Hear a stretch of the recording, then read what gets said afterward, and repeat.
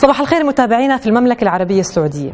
نهار اليوم الجمعة بإذن الله بتستمر الأجواء غير المستقرة تؤثر على المناطق الشمالية والغربية بما في ذلك مدينة جدة وتنشط الرياح الجنوبية الغربية المثيرة للأتربة والغبار. أما كيف رح تكون درجات الحرارة المتوقعة على العاصمة الرياض نهار اليوم الجمعة بإذن الله 30 مئوية مع أتربة مثارة والملموسة 28 ونسبة الرطوبة 20% وسرعة الرياح 34 كم في الساعة لتكون جنوبية شرقية نشطة السرعة.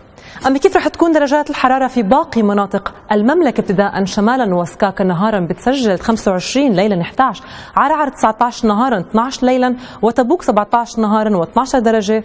مئوية ليلا بإذن الله.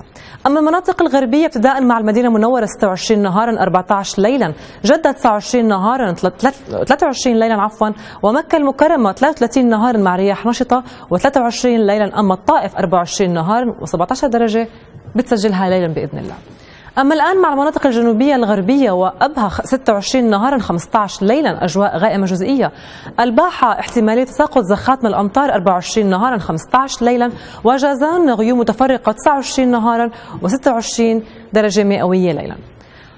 أما المناطق الشرقية الدمام 28 نهارا 18 ليلا حفر الباطن 31 نهارا 20 ليلا والإحساء 31 نهارا و17 درجة بتسجلها ليلا أخيرا ننتقل إلى مناطق الوسطى والرياض 30 نهارا 18 ليلا. بريدة 32 نهارا 16 ليلا. وحائل 26 نهارا. و8 درجات مئوية بتسجلها ليلا. والله تعالى دائما أعلى وأعلم. متابعينا بدي منكم تتذكروا تشتركوا على قناتنا على اليوتيوب وما تنسوا تفعلوا زر الجرس. ولاقونا في باقي تفاصيل نشراتنا بإذن الله. إلى هنا إلى اللقاء.